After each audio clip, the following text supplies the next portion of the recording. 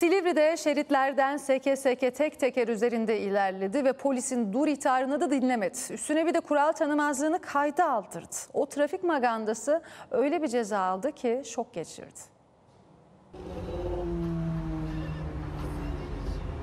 Tek teker üzerinde şov, macera peşindeydi. Şeritler arası tehlikeli yolculuğu cezayla bitti. Silivri'de adrenalin tutkunu motosiklet sürücüsü tek teker üzerine kalktı. Utanmadan magandalığını kayda da aldırdı.